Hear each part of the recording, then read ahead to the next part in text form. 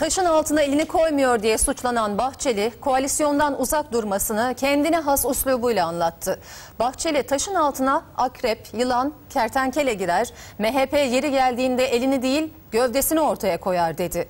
Erken seçiminde gündemden düştüğünü belirten MHP lideri Davutoğlu ve Kılıçdaroğlu'nu acilen hükümet kurmaya çağırdı. AKP-CHP koalisyon hükümeti bu hafta içinde mutlaka kurulmalı. Türkiye artık nefes almalı. Davutoğlu ve Kılıçdaroğlu'na bu sözlerle çağrıda bulundu. Bahçeli Türkiye geçici hükümetle devam edemez dedi. Terör olaylarına dikkat çekerek erken seçim ihtimalini de rafa kaldırdı. Türkiye'nin erken seçim gündemi artık tedavülden kalkmış, ikinci plana düşmüştür. AKP ve CHP'den beklentimiz koalisyon hükümetinde buluşmaları. Pazartesiden itibaren Sayın Genel Başkanımız ve partimizin sözcüleri çok olumlu e, mesajlar verecek. MHP'nin yeni haftaya hızlı gireceğinin işareti böyle verilmişti. Bahçeli peş peşe açıklamalarla hükümet senaryolarına damga vurdu. 7 Haziran gecesi söylediği erken seçim restini arka plana atarak.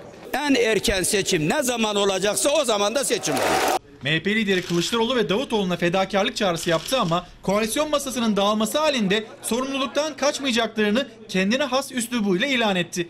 Başta çözüm sürecinin sonlanması şartıyla. O şart oluşmadan taşın altına akrep, yılan kayar, bir de kertenkele girer. Biz yılan mıyız, çıyan mıyız? O taşın altına elimizi koymamız için taşın nerede durduğunu göreceğiz. Baktık ki güven veriyor, değil elimizi, gövdemizi koruruz. Erken seçim ihtimalini gündeminden düşüren MHP, AK Partili hükümet senaryolarına artık göz kırpıyor.